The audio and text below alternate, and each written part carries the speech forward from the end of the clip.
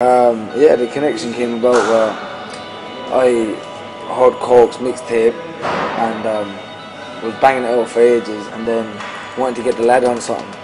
So got in contact and at the time he jumped on an acoustic version of uh, a song of mine called They Found Him a Gun and did a verse on it.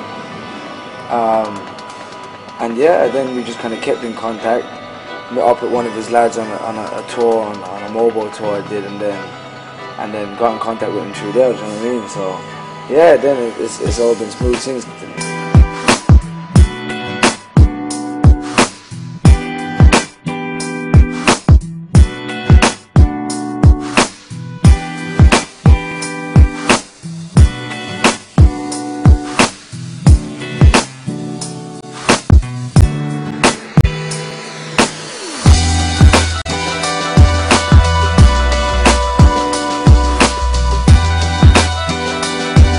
Lad linked me up at the Glasgow gig, came up there, connected again, and said we need to get something done. Sent me the beat.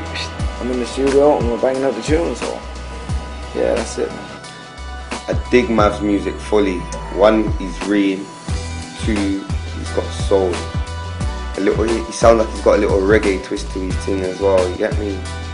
Fully dig Mav. I mean, there's definitely chemistry in the studio with me and Mav, but just the song that we did will, will tell you that, innit? You know, I can't remember where I thought. I can't remember who showed first, but I think it's it's universal, innit? I, I love universal music, music that can connect with, with everybody, no matter what genre it's in.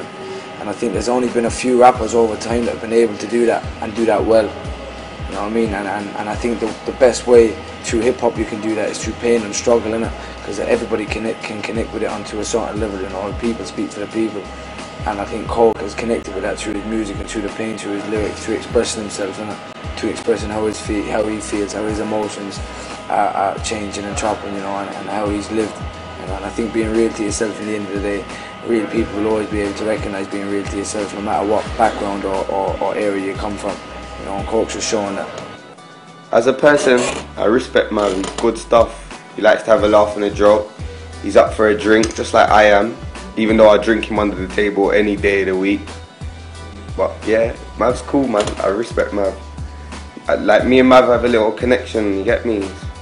It's more than just music.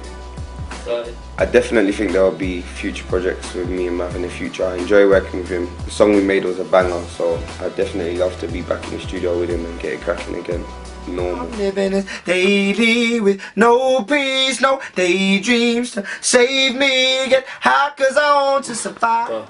K Koke, I Ain't Perfect album coming soon.